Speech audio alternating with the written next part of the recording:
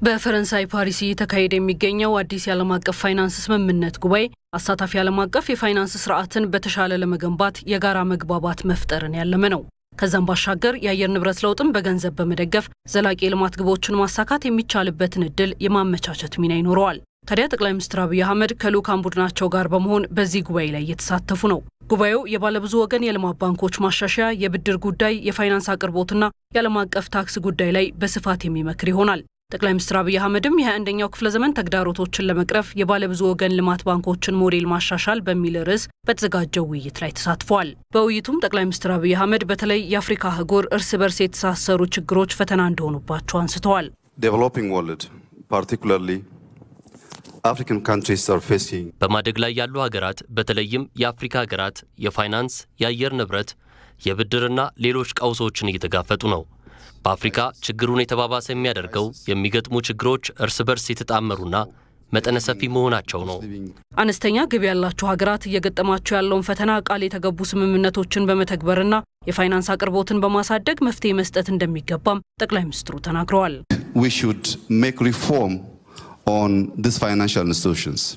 ማሻሻያዎችን ማድረግ ተገቢ ነው። በተለይም በተለያዩ ዘርፎች ቃል የተገቡ ስምምነቶች ላይ የሚታዩ የትግበራ ክፍተቶችን ማስተካከል ያስፈልጋል። በተለይ በአየር ንብረት ለውጥና ሌሎች መሰል ዘርፎች ላይ አዳዲስ የፋይናንስ አቅርቦትንም ለሀገራቱ መልቀቅ ተገቢ ይሆናል።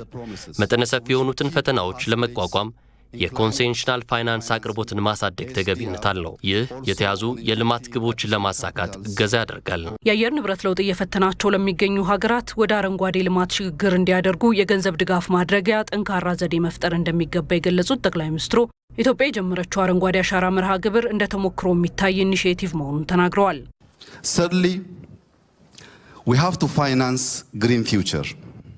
In Ethiopia, we're focusing on low carbon pathway. የአረንጓዴ ኢኮኖሚን መደገፍ ይገባል። በኢትዮጵያ አነስተኛ የካርበን መጠን ባላቸው ስራዎች ላይ በማተኮር የውሃ የንፋስና ጂኦተርማል ኃይል ማመንጫዎች እንዲሁም ከፀሐይ በሚገኝ ኃይል ላይ እየሰራን ነው። ከዚህ ጎን ለጎንም የአረንጓዴ አሻራ መርሃ ግብርን ከአራት ዓመታት በፊት በመጀመር 25 ቢሊዮን ችግኞችን ተክለናል። በዚህ ዓመትም 32 ቢሊዮን ለመድረስ እየሰራን ነው። Imagine if Ethiopia is investing one dollar, starting from preparation of seedlings all the way to plantation. ተመልከቱ ኢትዮጵያ እንደ አውሮፓውያን አቆጣጠር 2026 ላይ 50 ቢሊዮን ችግኞችን ለመትከል በያዘችው እቅድ መሰረት ለአንድ ችግኝ ከዝግጅት እስከ ተከላ ድረስ ባለው ሂደት አንድ ዶላር እንኳ ቢፈጅባት አየር ንብረት ለውጥን ለመጠበቅ ብቻ 50 ቢሊዮን ዶላር እያወጣን ነው። ይህንን የምናደርገው በራስ አቅም ነው።